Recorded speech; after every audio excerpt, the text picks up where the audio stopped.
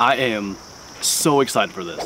If you guys haven't heard, we're working with Tethrd this year and huge thanks to Tethrd for sending this over here. But it's the perfect time for me to get into saddle hunting. I've been hunting across more and more states every year, public land, private land, and especially for that kind of hunting.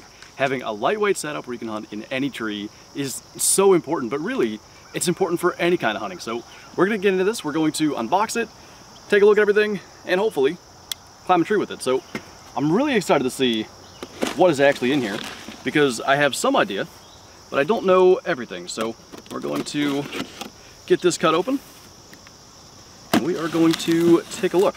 Make sure that we don't damage anything inside. All right. First thing, we have Predator platform.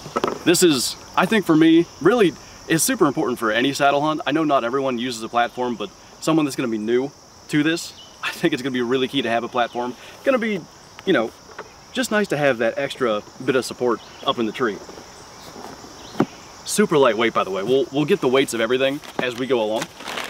And we've got lineman belt and the tether. We have in here Skeletor sticks. So this is gonna be four sticks. That's gonna let us get pretty high in the tree. I do tend to get pretty high up. Still filming, you know, there's not only in a saddle do you have the potential to move a little bit more, but when you've got a camera involved, maybe multiple cameras involved, you're probably gonna move more than you'd like to. So I can get up just a little higher with this set of four sticks. And I think this is like a little over eight pounds for four of them. I mean, compare that to hauling a climber into the woods. This is, this is nothing. And I mentioned, I'm gonna have my camera gear just a little bit of weight to get up into the tree on top of the camera gear. That's gonna be so key. Having a whole bunch of weight, you know, if I had a climber and my camera gear, it would be insane to do that. Got a pack here. It's gonna allow us to get everything into the tree fairly neatly. Also got the his system. Basically, this is gonna allow us to hang a bunch of gear up there. So whether that's calls, our bow, quiver, potentially even camera gear. There's a lot of little loops here to hang a bunch of stuff. Nice thing is you don't have to screw into a tree for this. You can just wrap it around the tree, cinch it down. Gonna be really, really nice. Super excited to have that. We've got, what is this guy? Fold and go bow hanger, how about that? One of those things I didn't know was gonna be in there. So I think this is gonna hook perfectly over that his system. That is sweet, and it's like weightless. That's awesome. Next in here, oh, we have two of them. So potentially we could use this for several different things. Honestly, I'm gonna have to get it into the tree and, and see. But camera gear, there's all these things that are fairly heavy, you know, compared to maybe hanging something on a small carabiner or something. That's gonna be good. You know what else too? The quiver. That might be perfect. We'll see. We have the Phantom saddle. Most important part of this kit. I cannot wait to get this thing on and get up in a tree. I'm really I'm having a blast unboxing this, looking at everything, seeing what's in here, but I just, I want to get up there and see. Got a little, little bag here. Ooh, look at this. I have to change hats. Tethrd hat. We'll give, a, give it a minute and get that on. And looks like a t-shirt, which I will not put on because I'm probably going to sweat in it. That's pretty nice. I'm not going to throw those on the ground either. And then lastly, I believe we have two of these guys, it looks like.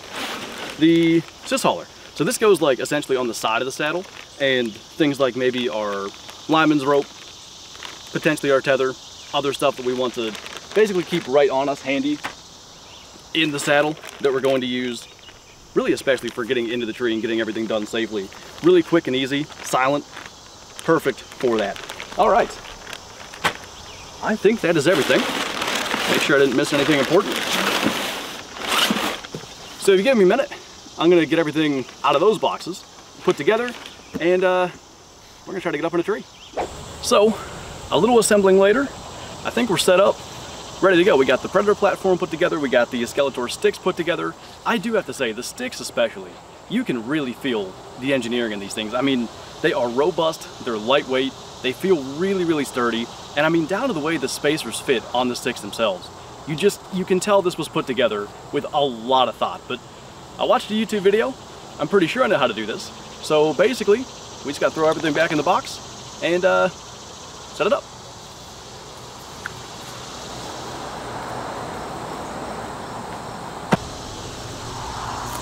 Cool, right? So maybe it was a little more involved than that, but as someone who's literally never used a saddle until that moment setting that up over there, I didn't think it was very difficult at all to figure out. And I didn't want to make you sit through the entire setup of it. I did film it, so I'll overlay some of that as I talk about this. There's a bit of a learning curve for sure, and honestly the biggest thing for me was just trusting it. You know, attaching the tether, letting my weight go to the saddle, and just trusting it to, to hold the weight. And the lineman's belt was one thing because I've been using those for 10 years to hang lock-on stands. You get used to that. And I will say with this system too, I wasn't sure what to expect as far as how difficult it would be to set stuff up. You know, in weather like this, it's about 80 degrees and I'm going to Kentucky here in a couple of weeks. I expect it to be at least in the 70s. I wasn't sure if I should expect to sweat a lot setting this up. It's not bad. You use that lineman's rope, you just kind of let your weight be held by that. You're not doing a lot it really doesn't cause too much extra exertion, which I think is really good and really key if you're gonna use a setup like this. One of the biggest things for me, you can maybe haul a climber stand when it's cool out, get it to a tree and climb up without expecting to sweat too much. If it's 75 degrees out, I wanted something lightweight and easy to set up. This is perfect for that. But I'm sure there's some things I maybe could have done better. The steps are a little closer together than they should have been. Just something that I wanted to maybe stay on the side of caution. But I really liked it. I think it's gonna be great for the versatility, being able to pretty much set up in any tree that I'll want to, whether that's Kentucky, West Virginia, Indiana, or here at home in Pennsylvania, on properties where I could hang a lock-on stand. If I see a deer in a spot that I wanna go and target the next day, maybe later that day, maybe I wanna move. If I have the saddle, I can go there immediately, no big deal. But I'm gonna climb back up, get tethered back in, I'm gonna bring a haul line, bring my bow up, shoot a couple of shots, just see how it feels, and uh, think that's gonna do it for today.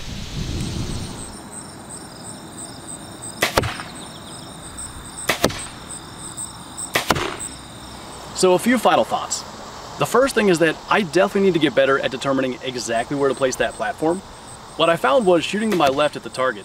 I was kind of in this awkward contorted position and I think either if I had climbed the tree a little further to the left and had the platform further left or maybe just put the platform on the other side of the sticks, that wouldn't happen. Now, the shots still found their mark. They could have been better, but I think for my first time using the saddle setup, shooting from that, it actually went pretty well. So with experience, I think that's only going to get better. And I think the more trees I climb, and as I said, my intention is to be up a lot of trees between now and the middle of September, the better.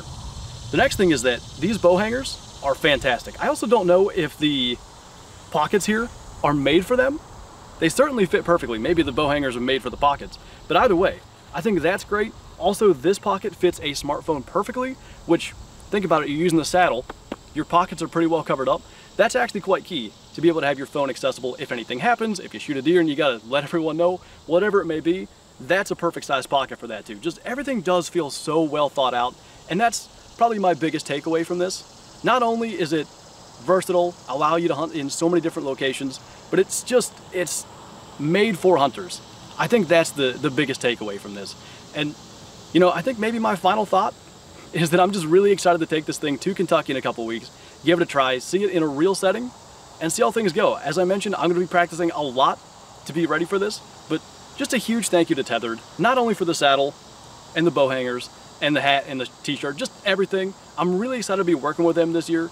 It worked out so well that I'm going to Kentucky Public Land in West Virginia and Indiana this year, plus just hunting at home here in Pennsylvania this is the year that Tether partnered with us. I think it's going to be really, really fun to get to use this thing, and I promise we'll be in it a lot.